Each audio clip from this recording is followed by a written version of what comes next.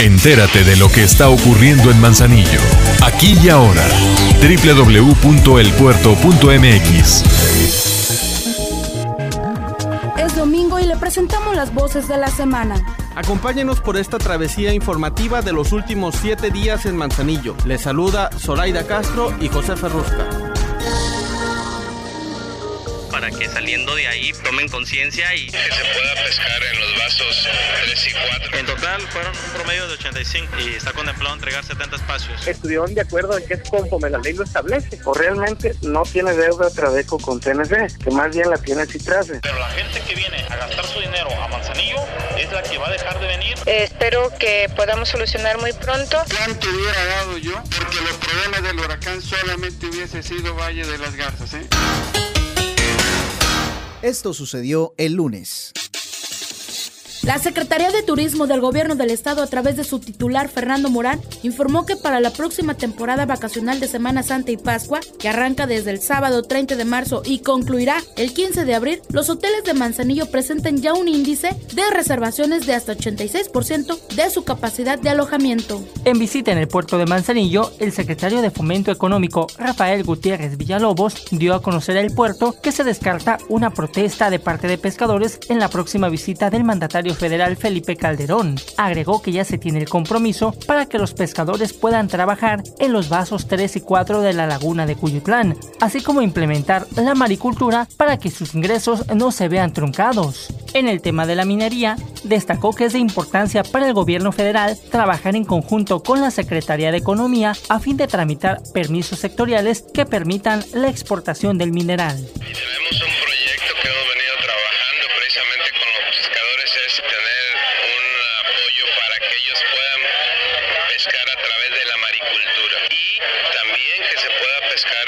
En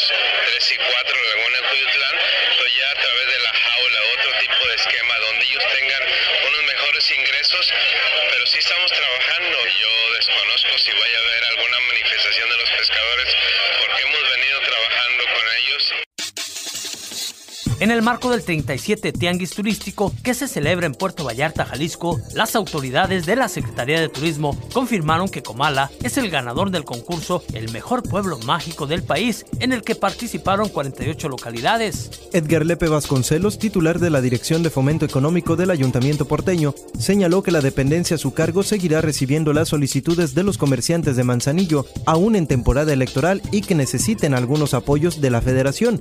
No obstante, señaló que será serán respetuosos de los tiempos electorales y la veda que marquen las autoridades en la materia, aunque dijo es importante continuar con los trabajos para una vez concluidas las elecciones, esperar la apertura de nueva cuenta de las ventanillas y aprovechar mejor los tiempos para aterrizar los recursos económicos. Obviamente se van a seguir recibiendo este, documentación y, y solicitudes, pero eh, se va a mantener, se, van a, se va a respetar la veda y eh, nada más estaremos en espera de que en cuanto se vuelvan a abrir las ventanillas se les comunicará a todas estas personas porque muchas veces este, nos pueden cambiar también los requisitos. Entonces, pero la mayoría eh, sería un cambio de uno o dos documentos.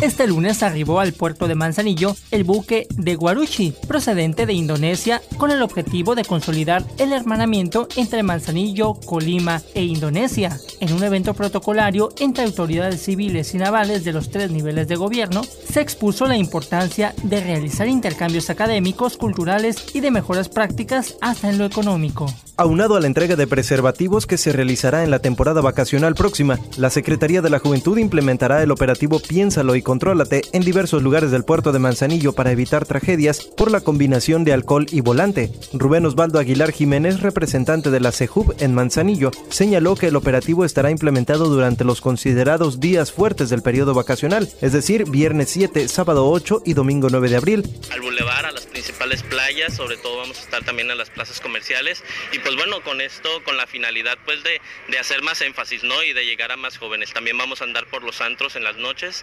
Hay una muy buena disposición de ellos para con nosotros porque pues bueno, ahí es donde se consume el alcohol y demás, ¿no? Para que saliendo de ahí, pues bueno, tomen conciencia y sea este programa del Piénsalo, Contrólate un éxito. Le informamos el martes.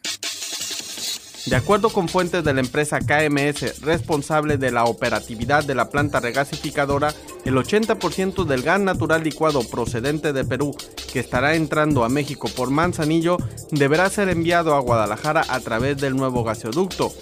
En el puerto, explicaron las fuentes, solamente se quedará el restante 20% que se utilizará en la generación de energía eléctrica gracias a la central termoeléctrica y su proceso de repotenciación.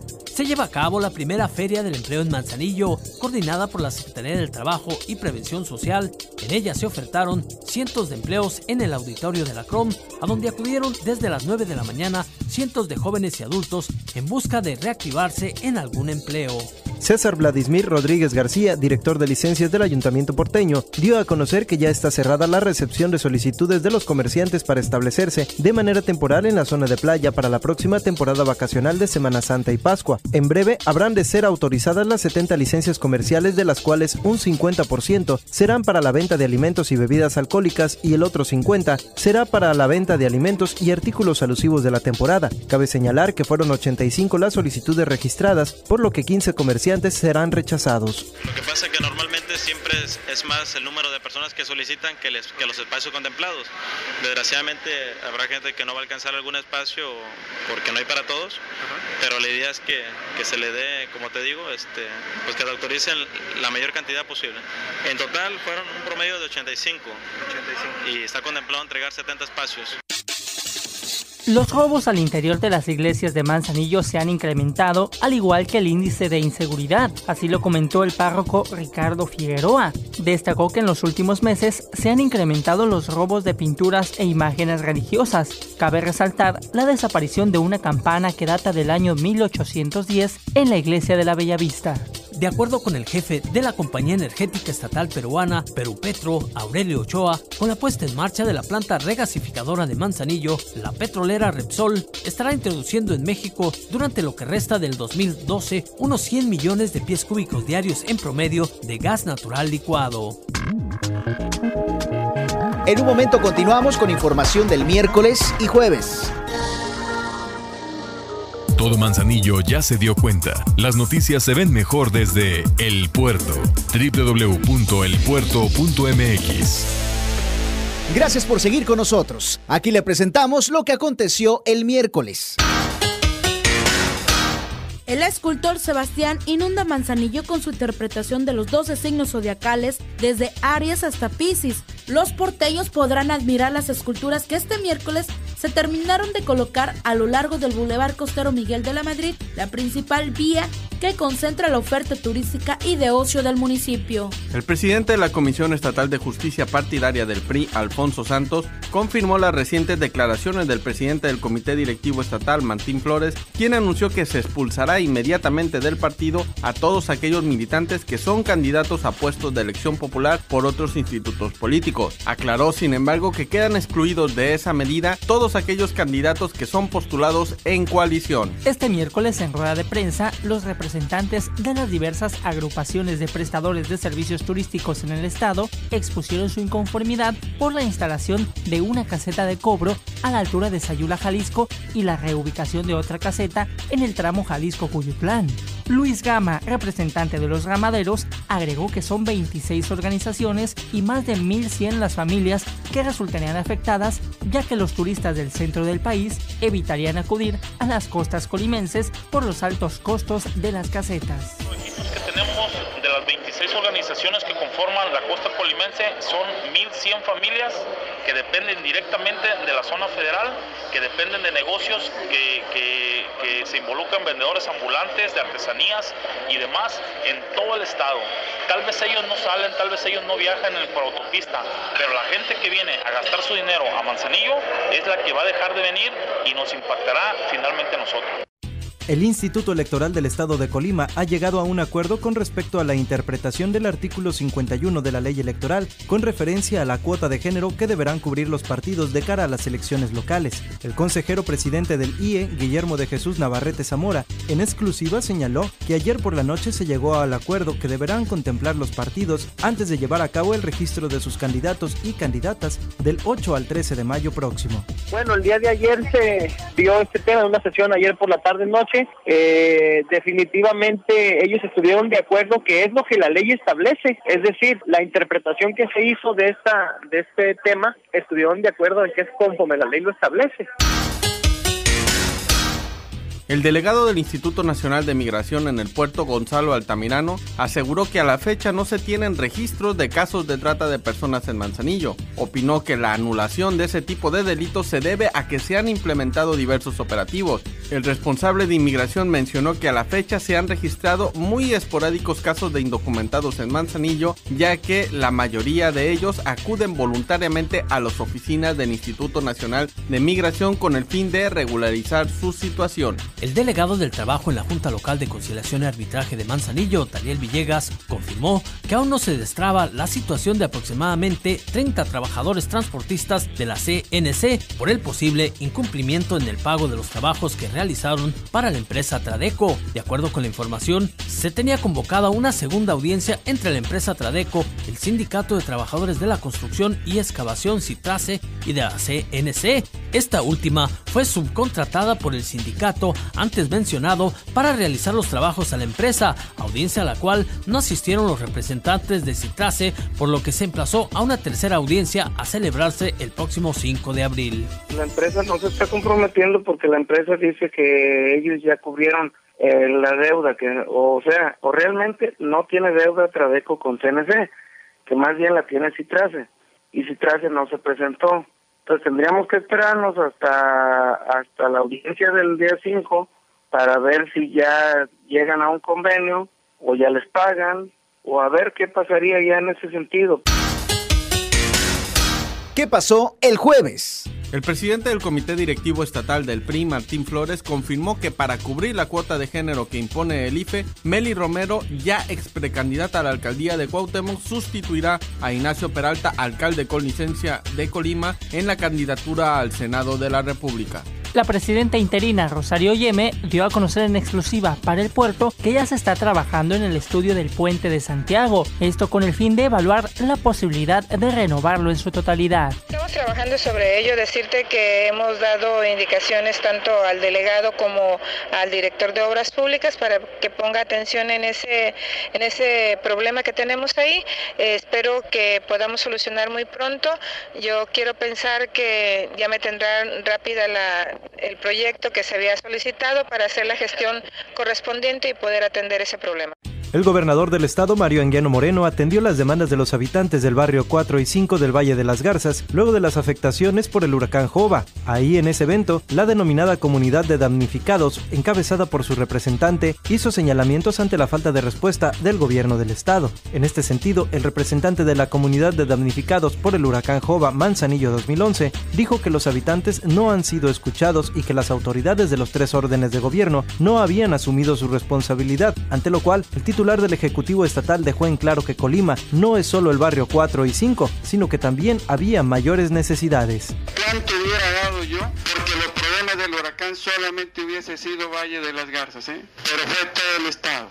Aquí hubo muchas afectaciones y es a donde más atención le hemos dado. Pero teníamos que atender la responsabilidad de todo el estado. Giraldi, todos los planteamientos que tú hiciste, lo importante es que fueron planteados no solo por ti, todos los líderes, el delegado no salía. A lo mejor el delegado no hace reuniones y no viene y decir, oiga, pues ya, él viene planteando problemas. La Secretaría de Seguridad Pública del Estado informó mediante comunicado que se encuentra listo el operativo de seguridad para el periodo vacacional de Semana Santa y Pascua. En total, son 328 elementos de la Policía Estatal los que desplegarán para salvaguardar y garantizar la seguridad de los visitantes y familias colimenses que disfrutarán de este periodo vacacional en los centros turísticos de la entidad. El director de Servicios Públicos, Joel Salgado, dio a conocer al puerto que peligra la instalación de una zona de acampar en esta temporada vacacional todo ello porque no se ha logrado negociar con el propietario de este terreno. En este caso no hemos avanzado, derivado pues de que eh, recordemos que es, un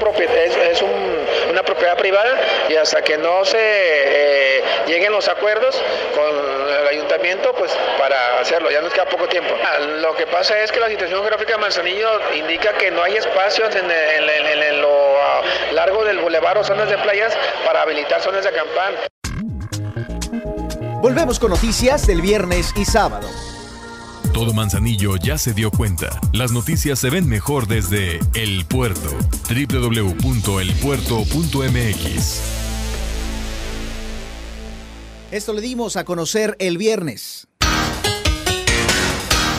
A unas horas de que oficialmente arrancara en todo México el periodo proselitista para obtener el voto ciudadano a depositarse en julio próximo, Nabor Ochoa, aspirante al Senado, y Francisco Cepeda, candidato a diputado federal por el Distrito 2, ambos del PRI, aseguraron que su campaña será de propuestas y no de descalificaciones. En entrevista exclusiva con el puerto, el director general del Hospital de Manzanillo dio a conocer que los accidentes son la principal afectación que sufren los porteños y que demandan servicios de atención en materia de salud, además de los problemas cardiovasculares y los crónico-degenerativos como diabetes y renales. Los accidentes han tenido importante incremento en la demanda de servicios médicos y no necesariamente los vehiculares, sino también los originados en casa. Aunado al incremento en el flujo vehicular y la saturación de las vías de circulación urbana en Manzanillo, las obras del distribuidor vial podrían afectar la agilidad en el servicio de los taxistas del puerto, de acuerdo a lo reflejado en un sondeo realizado por el puerto. Entrevistados respecto a la situación actual por la que atraviesan los trabajadores del volante, señalaron que se mantiene una buena actividad para obtener el sustento familiar, aunque tienen sus reservas de cara a la venidera temporada vacacional. Puede ser que vaya a estar mejor, pero va a estar pues problemático por las fuentes que están haciendo y por eso está un poco bajo.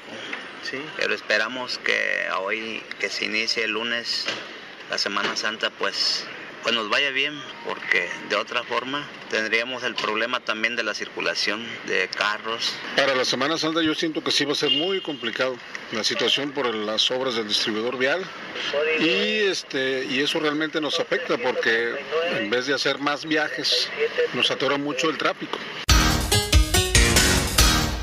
El priista Francisco Cepeda, candidato a la Diputación Federal por el Distrito 2, reconoce que su adversaria más cercana, Marta Sosa del PAN, sí le lleva ventaja por posicionamiento, ya que fue candidata a gobernadora y recorrió todos los municipios. La ventaja que pudiera tener es en el posicionamiento nada más, porque ya hizo campaña ella en dos ocasiones, una para el Senado.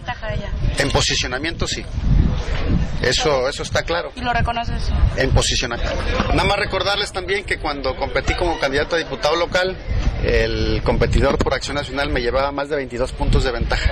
Y, y al final terminamos ganándole con 10 puntos de ventaja. En sondeo exclusivo para el puerto, los manzanillenses dieron las recomendaciones a los turistas que nos visitan para esta próxima temporada vacacional. Resaltan entre algunas de ellas la visita a las playas y algunos centros comerciales. Playa, pues el, el pez vela y el centro, eh, no sé, los, los, nuevos santos que están abriendo. A lo mejor los bares, hay buenos lugares, este, la playa también, sobre todo Club Santiago a gusto para ver chavas. Yo les recomendaría que visitaran las playas, por decir La Boquita, este, en familia eh, se la pasa uno a gusto, es tranquilo. Transcurrió ayer sábado. Fuentes de la Secretaría de Turismo y Cultura del Gobierno del Estado adelantaron que durante la segunda mitad de abril podría ser inaugurado el Paseo del Zodiaco. El artista Enrique Carvajal podría venir a la inauguración. El cronista municipal y director del Archivo Histórico de Manzanillo, Horacio Archundia, se mostró contrario a inundar la ciudad de la obra de un solo artista y se pronunció por dar oportunidad a otros artistas. Advirtió también que por la zona en que fueron ubicadas las 12 piezas seguramente serán blancos fáciles de los vándalos. Con el mantenimiento de las instalaciones de la terminal de autobuses de Manzanillo, comienzan a prepararse para recibir a poco más de 6.000 personas al día, ahora que ha comenzado el periodo vacacional de Semana Santa. Francisco Herrera Llerenas, administrador de la terminal de autobuses de Manzanillo, señaló que la proyección de arribos al puerto de Manzanillo es de poco más de 6.700 personas por día al arranque de la Semana Santa, aunque en la víspera del Jueves Santo se espera un incremento que podría alcanzar la cifra de 8.000 personas, al menos en ese fin de semana. Aproximadamente con un promedio de, de 6.800, 6.700 personas que se, empiezan a trasladar aquí al puerto. ¿Por día? Día. Más sin embargo, en, la, en los, eh, tiene un punto crítico, un punto más alto que es el miércoles para amanecer jueves, donde aproximadamente se llegan a mover hasta 8.000 gentes en ese día. El presidente del PRI en el estado, Martín Flores, aseguró que el presidente municipal de Colima con licencia, Ignacio Peralta, puede impugnar el cambio que lo dejó fuera de la candidatura al Senado. El alcalde fue sustituido por Meli Romero para de esa manera el tricolor pudiera cumplir con la cuota de género que impone el Código de Instituciones y Procedimientos Electorales. La decisión de apartar a Peralta, reveló Martín Flores, se basó en la certeza de que el PRI se encuentra mucho mejor posicionado en el Distrito Electoral 2 con Nabor Ochoa que en el 1 con Ignacio Peralta. El responsable de la Comisión Estatal para la Protección de Riesgos Sanitarios, OESPRIS, Gustavo Villagrán, informó que hasta el momento no hay reportes epidemiológicos de personas que hayan tenido contacto con la marea roja que aún afecta la zona de playa de Manzanillo. La Universidad de Colima y el Instituto Tecnológico del Pacífico también se están abocando a la vigilancia de la marea roja. Gustavo Villagrán dijo que no se descarta la posibilidad de que aparezcan organismos tóxicos, por lo que recomendó a la población y prestadores de servicios estar atentos a los comunicados que emita la Secretaría de Salud, donde se informará el comportamiento del fenómeno. La aspirante a la Diputación Federal por el Distrito 2, Marta Sosa, aseguró que en los próximos comicios de julio se caracterizarán por la alta participación femenina, tanto en el porcentaje de votantes como en las cifras de aspirantes a cargos de elección popular. Destacó que con las últimas modificaciones hechas al Código Federal de Instituciones y Procedimientos Electorales para asegurar que uno de los dos géneros tenga un 40% de las candidaturas, se logrará que al menos 120 mujeres estén aspirando a ganar algunos de los 300 distritos electorales en disputa. Esa posibilidad, subrayó, permitirá dar un nuevo carisma a la política mexicana. Así es de que a mí me parece muy positivo, son medidas afirmativas, son medidas de aliento para la participación femenina en la política, de que la política requiere de ética, requiere de principios, requiere de trabajo ordenado y generoso, como lo sabe hacer las mujeres. Y en este sentido, bueno, pues bienvenida esta modificación legal para que las mujeres de Colima se animen. Gracias por mantenerse informado por 93.7 Caliente FM y a través de nuestro sitio www.elpuerto.mx, el sistema de noticias por internet más completo de Manzanillo. Conéctate www.elpuerto.mx.